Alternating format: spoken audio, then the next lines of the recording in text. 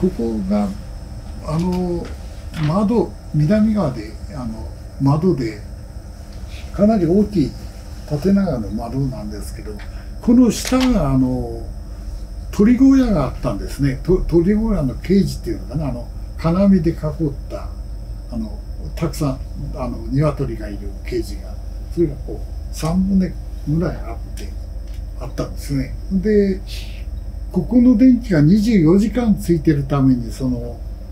鳥たちが そのよ夜がなくなっちゃって。夜がなくなっちゃって。で24時間明かりで照らされんで。でまあとにかく発狂したわけですね。である日行ったらその野良仕事のあの農農作業のこうふうな身なりをした。老夫婦と赤良顔のあの町会長っていうのがもうその社長に怒鳴怒鳴ってるんですよね。でそのでまあその終わりかけたところに私が行ったんですけどとにかくその24時間明かりがついてるためにその鳥が狂っちゃった。で、まあ、産卵とかいろいろあったし、まあ、確かにその、その、しばらく前から変な声、変な、変な鶏の洗えないような、まあ、よく怪獣映画の会長の鳴き声みたいなのが聞こえて、これ、なんだろう、なんだか思ってたんですけど、鳥が狂っちゃってたんですね。で、で、怒鳴り込まれて、その、どうしてくれんだみたいなこと。で、まあ、先生がいなかったから、まあ、謝ってそれで済んだんだけど後でなんかまああのまあ損害賠償みたいなちょっと払ったみたいですけどそれで、まあ、慌ててそのマネージャーがあのカーテンカーテン屋連絡して読んでそこにこうカーテンを明かりが漏れないカーテンをしようって言うんだけど、まあ、23日かかりますなんて言われて「だん急いでください」みたいなそれで今晩はとにかくあの段ボールをガムテープで留めて夜はやりましょうみたいなそんなハプニングもありましたね。それからそれからあの大手出版社のまあ新人の人がたまたまなんか、まあ、様子見てこいなんか言われて、まあ、前の日来て、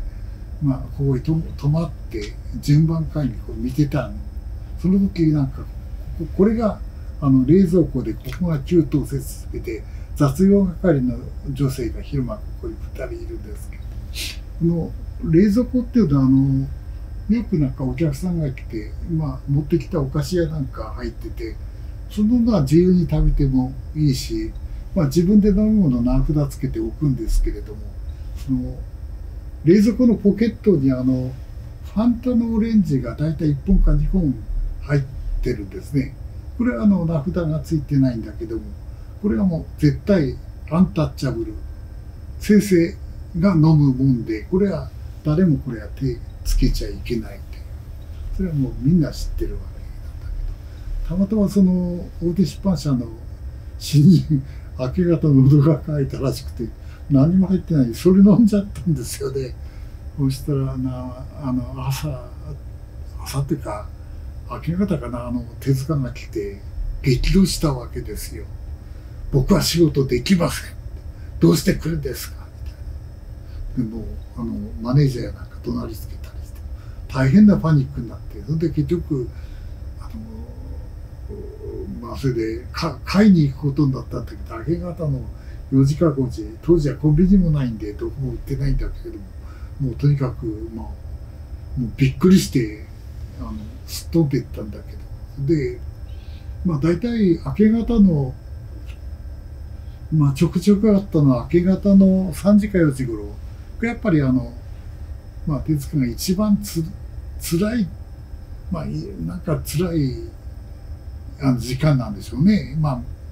まあ、ラーメンが食いたいとか、まあ、太巻きが食いたいとか、まあ、そういう勝手なことを言うんですよね。まあ、そういう時は、あの、まあ、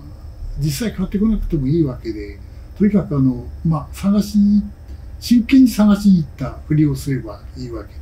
まあ、それで僕探しに行きます。なんか太巻きならあの魚河岸まであの行ったらあるかもしれませんな来ても出てくるんですね必死で2人が。でまあ結局あのなくてまあまあ7時か6時過ぎか7時頃帰ってきて先生ありませんでしたって言うと大体もうその6時か7時になったら機嫌が治っててあそうですかご苦労様でしたみたいなことで仕事始めて何ともないんだけどそういう時こう一生懸命一生懸命も先生と一緒になって悩んでこれだけしてるんだみたいなことを態度で見せないとこれもういけないわけなんでところが彼はもう飲んで怒鳴られても怒鳴られた経験がなかったらしくてパニックになってまあ出てって探すんだけど見つからなくて帰ってきてでまあ早く帰ってきてからまた怒鳴られちゃって。で結局彼はあの精神的に壊れちゃって、まあ、あの二度と、まあ、ここに現れなくて。まあ定年まで雑用がかり精神的に病んでしまってあのあのなんていうかあのまあ感触にあって天まで勤めたということなんですけれども。ついでながら言っておくとあのまあ私といった少年科放射でもやっぱりあのまあ手塚版で壊れちゃったのは2人いたわけです。まああのどこの本にも書いてないんですけれども1人はまあ完全にまあ壊れちゃって最後は自死自分で死んじゃうわけなんですけれどももう一人はもう手塚版やってて、まあ2年ぐらいやって、まあそんなこと2年もやらせちゃいけないんだけどやっちゃって、結局アル中になっちゃって、あの、まあ飲み出すと止まらなくて、結局自己死犯、自己破産寸前まで行って、まあ私の辞めた後なんですけれども、会社がその、まあ多分退職金かなんかを担保にしたんでしょうけど、生産して、まあ、定年を迎えたという、そういうようなこともあったし、またあの、ここなんかでも大体1人か2人ぐらい大手の出版社でももう精神的に壊れちゃって会社に行っても務まらないで仕事担当外れてんのにここへ来てここあたりで時間を過ごしてるという人がまあ一人か二人必ずいるんですね。で、まあ、ここの場所に移る前のあの自宅ではあの自宅のところのあのたまり場ではあの麻雀とかあのまあチンチロリンとか花札とかそういう賭博が賭博賭博が華やかにやられて、まあ、ここに来ては、まあ、ちょっとテーブル掛けや中であの花札とかチンチロリンはなくなったんですけど駅前に公衆電話があってあの競馬の飲み屋さんに電話をしてあの競馬の賭博ですよねもうもっぱらやられたのは。でその中の一人でまあやっぱりその人も壊れちゃったんでしょうけどあの飲み屋に莫大な借金ができてまあ行方不明になってしまったというそういう人もいましたね。またもう一人はなんかあのなんかそれそれでまあ飲み屋さんにたくさんあの借金ができていなくなって何年かして戻ってきてここに顔を見せたなんていうのもう一人いましたそれその借金がどうなったんだかよく分かんないんですけどもそういう、まあ、精神的に壊れちゃった人がやっぱり、まあ、どこでも何人かあのいましたね。ちょうどあのまあまあ戦争なんかの場合の不安障害っていうんですかそういうあれでまあ精神内科にかからなければならない人がまあ続出してたわけですね。まああの会社でも大体1年以内ぐらいでこうローテーション組んでややあの交代すればいいんですけど2年 ,2 年以上1年以上やると大体まあ壊れる人がまあ出てくるというそういうような現場だったんですね。まあ私はまあこの後あのあのまた連載新連載やるやったりしてたわけでまあ私はあの烈烈な手塚郷土信者だったこれなかったかもしれませんけどそういうまあとても大変な、まあ、戦場に近いような状態が続いた仕事場だったわけです。であの